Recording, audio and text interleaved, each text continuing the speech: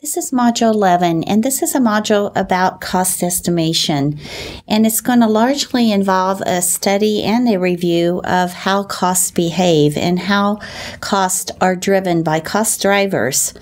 So we'll be looking at this subject today, and some of this will be new for us. And again, some of it will be a good review of the cost different cost behaviors, the variable and fixed and mixed costs that we studied in um, a module much earlier in the course.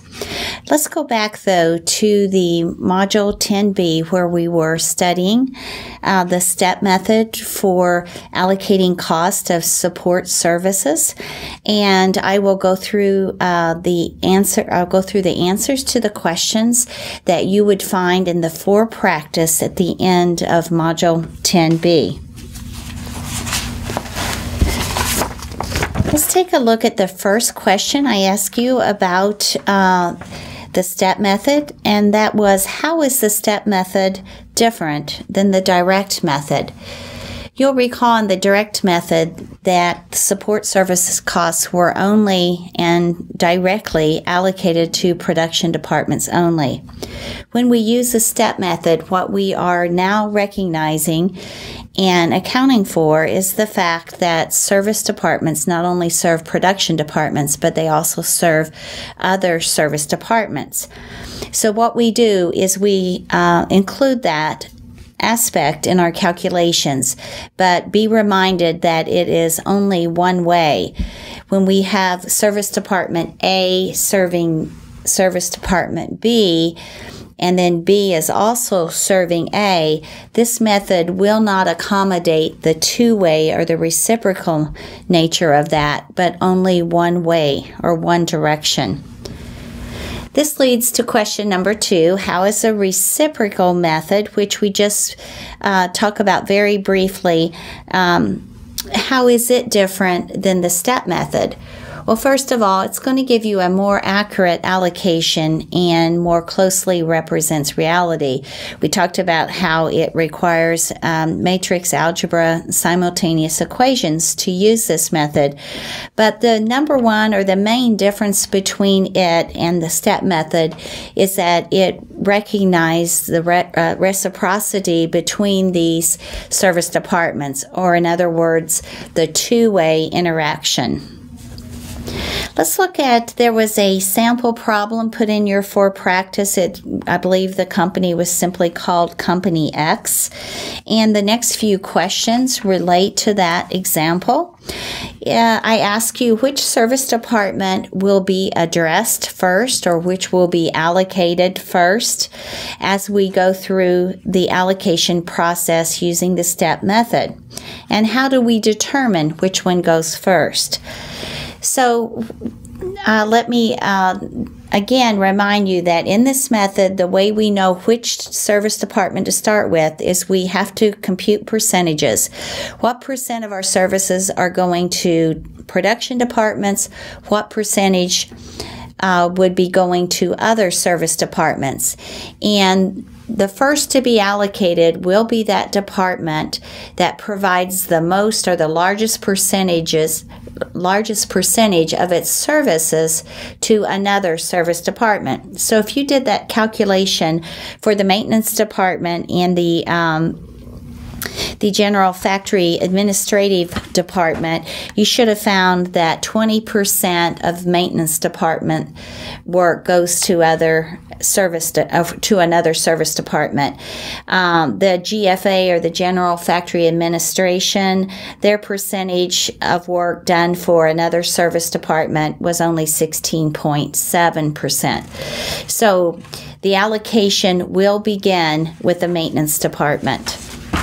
Finally, um, as we look at um, this step process, question five asks us although the general factory administrative department does provide services to the maintenance department, which is another service department, will its cost be allocated to maintenance? Yes or no, and why? You'll recall that we were going to start the step method by allocating the cost of the maintenance department. Once you have allocated the cost from a service department, then using this method, you do not go ahead and then allocate the next departments back to that first department because in effect, it is out of the running. So, uh, in, in the case of the General Factory Administrative Department, there will be no cost being allocated to maintenance, even though they did provide services for that department. In this case, uh, the cost will be allocated only to the two production departments.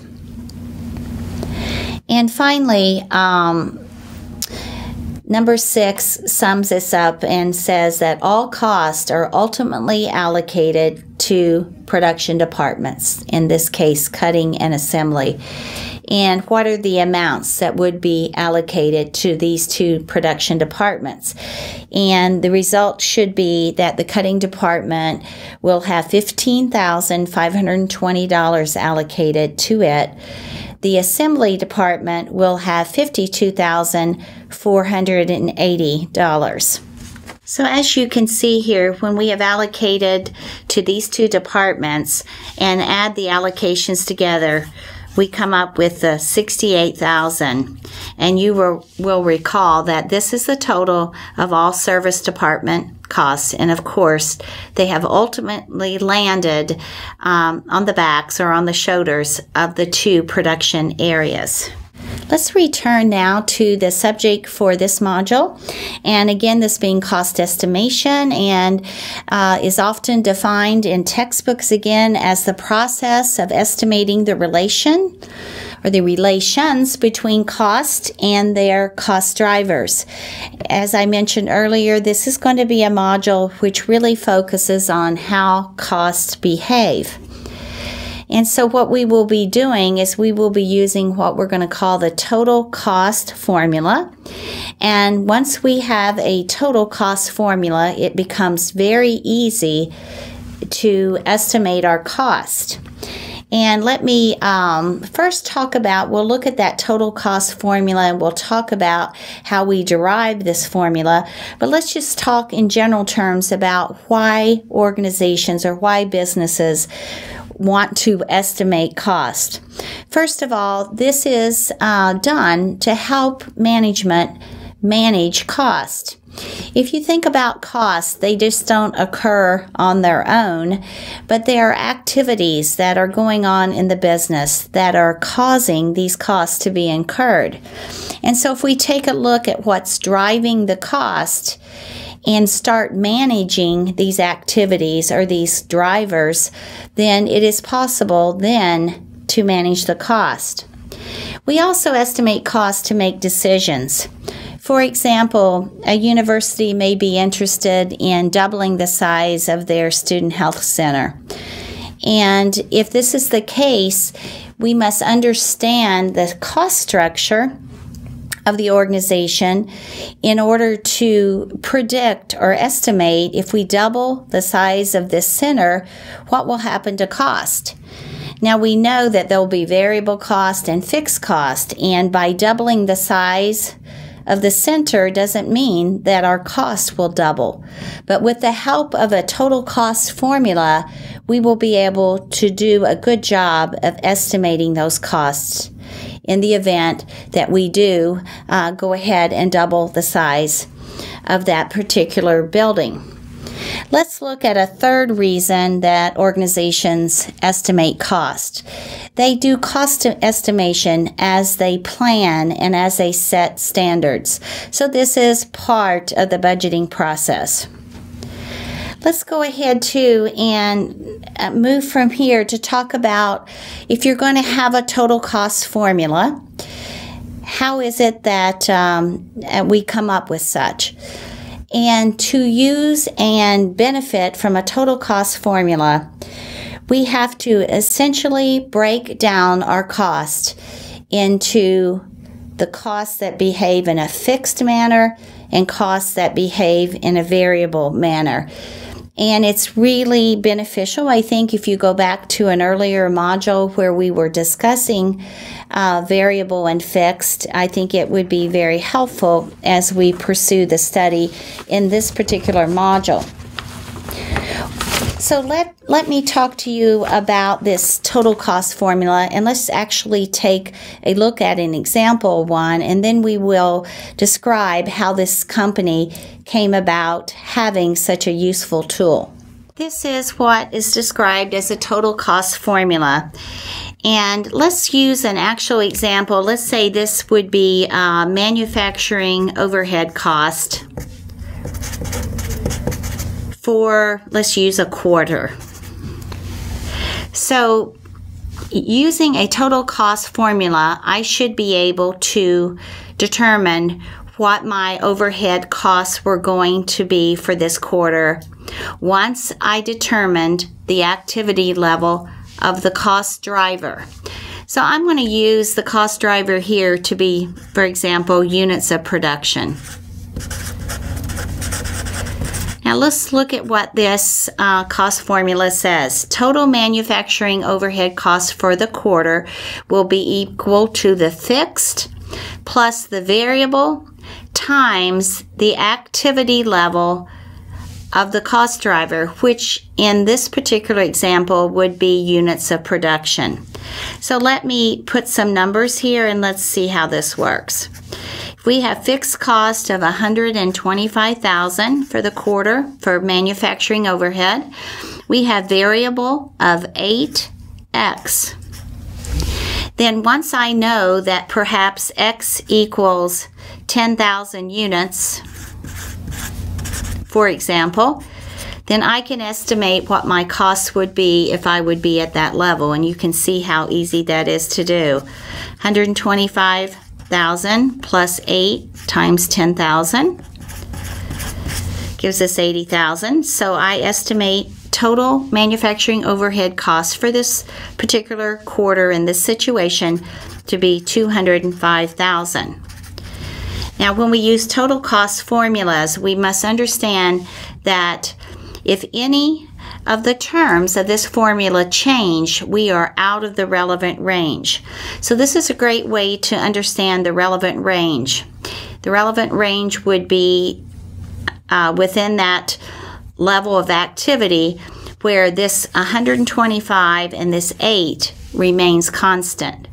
If this changes or if this changes, then we are in a different relevant range. Now let's talk about what we believe to be driving the cost here. We believe that overhead costs are driven by units of production. This becomes our X. Let's talk about the variables here too in a little bit different way. Total cost here is what we're trying to predict uh, for, uh, for manufacturing overhead. Uh, we would call the total cost the dependent variable and we would call the cost driver here, in this case units of production, the independent variable. So the cost driver is always going to be our independent variable and is going to help us determine how much total cost we're going to have. And again, referring to that as the dependent variable. In order to derive such a cost formula, there are different ways to do that, and some are more sophisticated than others. But the most common way to do this is to run a regression analysis. And when we do that, what we're trying to do is develop a formula similar to the one that you just saw, which will um, give us an idea of where our fixed costs are or how much our fixed costs are, and then how much our costs are going to vary on a on a per unit basis, which would be again the variable aspect of the total cost. If we look at the graph here that I'm building, we would have um, our independent variable here. This was the X, the units of production on the horizontal axis, and we would put our overhead cost here and these this would be of course our dependent variable so independent variable dependent variable.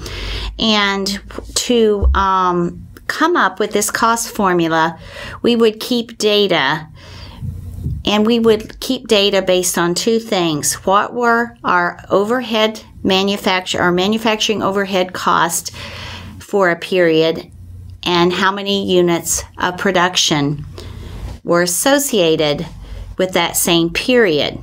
So you would be keeping data. Um, it would be nice to keep as many as to get as many as 30 data points. That may be difficult to do, and I won't be drawing that many. But what we, we're going to do is keep track of, again, each period, what were my manufacturing overhead costs in total, and how many units were being produced in that same period. So you're going to end up with data points. And so forth. And what um, what we can do is run a statistical program called regression. And what this regression is going to do is going to find what they call the line of best fit. And it's going to show us where the fixed costs are going to be in terms of where this line crosses the y-axis. This is called the y-intercept, and this gives us fixed cost. And the slope of this line will be called the variable or will relate to the variable cost. So from this, we can uh, develop a total cost formula. Now, if you look at what I just drew, this is probably um, not a good representation of the numbers we used because we had quite a bit of fixed cost. And if you look at the way this was drawn, the fixed cost is right here, again, where we cross the y-axis.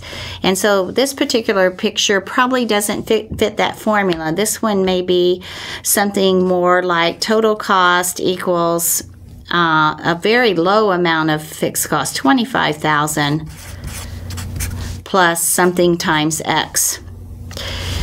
But this was just drawn to give you an example of what that regression uh, approach does. It takes our data points, it tries, it does find the line of best fit where it minimizes the difference or the distances between the line and all the dots. And again, mine being drawn by hand may uh, be certainly less than accurate. Over here, we have a data point, which sometimes when we collect data, we have to refer to it as an outlier and we might include it in the data. In this case, perhaps I checked it out and it truly was either bad data or a very unusual month and I choose to eliminate it from uh, the analysis. So this is what the regression will produce is a graph such as this. Now, the regression report or the um, output from running the regression, instead of saying total cost equals fixed plus variable times x, it will say y equals a plus bx. So this is in essence what we saw before, the variable times the cost driver. And this being the y-intercept for the fixed, and this being the slope of the line. And finally, when we run a regression, we are going to end up with a number or um, an output called r squared. And the r squared is simply going to tell us what percent of the change in total cost was caused by changes in x or the cost driver. In our example, if r squared were 62%, this would tell us that 62% of the change in total cost was can be explained by the change in the number of units of production. If this were something as low as 12, this would say 12% of the change in total manufacturing cost can be explained by the change in units of production. Now, an R square of 0.12 would tell us that we haven't chosen a very good cost driver. So we would either want to add additional cost drivers, which would move us into what we call multiple regression, or perhaps we would just like to try a different one. Uh, but of course, the higher R squared, then the more the changes that are being explained by this cost driver that we have identified. Let's go through now a five step process that we would use if we were interested in developing a cost formula using regression. Step number one, you would have to choose the most reasonable cost driver or cost drivers that you could come up with. It's a very important step that you choose uh, something appropriate. And of course, when our R square comes out, we're going to know how appropriate that cost driver really was. Step two, you're going to gather data. And as I mentioned before in our example, you would gather data for each period. What were total overhead cost and what were the units of production for each of those periods. Uh, step number three was what you saw me do uh, in my hand-drawn graph. You're going to plot this data, and you can use Excel to do this, and it'll do a much nicer job than I did. But you're going to want to plot the data on a scatter graph because th through uh, the um, analysis of this particular scatter graph, you would be able to identify your outliers and then could follow up about those. Step number four would be to run the regression. Again, um, st statistical software can be used for that, and they're very user friendly these days.